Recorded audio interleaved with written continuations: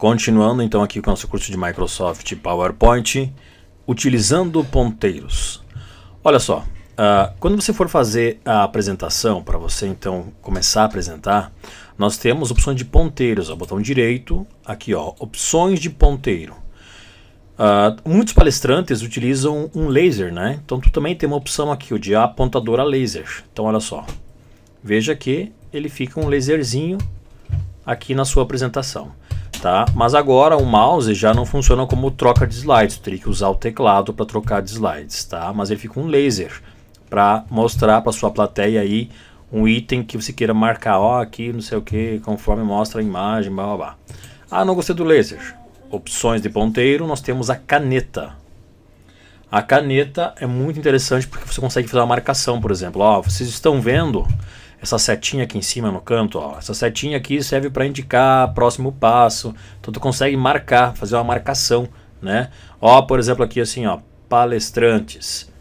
Então tu consegue fazer isso com a caneta.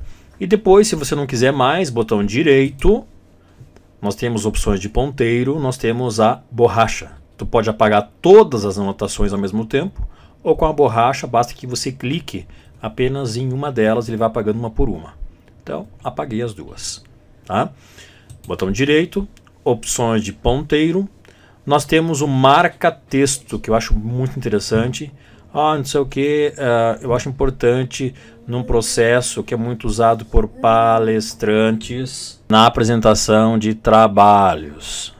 Então, tu faz marcações dentro do seu texto. Claro, tu pode, pode marcar qualquer coisa, né? Se quiser passar aqui em cima, ó, vai ter que passar dar várias passadas para poder. Esse é, tamanho, é um tamanho padrão. Mas não, né? É só para você entender realmente como funciona. Como eu não quero mais nada aqui, isso em cada slide, ok? Por exemplo, aqui assim, ó, bah, como é que eu vou marcar aqui assim, ó? Pessoal, você, aí você troca. Vocês estão vendo Uh, uh, vocês estão vendo esse grupo de ícones aqui, ó. Pois é, esse grupo de ícones são os ícones importantes do Windows. Então tu consegue fazer uma marcação bem interessante, né? Uh, por exemplo, vamos, vamos, pegar aqui o laser. Vocês conseguem ver esse pico da montanha aqui, ó, aqui assim. Então, para isso que serve esses recursos de apresentação, ok? Então, se eu vier aqui em ponteiros do mouse, eu vou apagar todas as marcações, apagou tudo. Deixa eu voltar aqui para um slide anterior, aqui também, botão direito, opções, apagar tudo.